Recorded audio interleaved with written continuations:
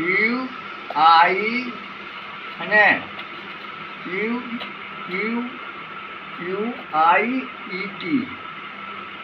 Q U I T E part part में पूर्ण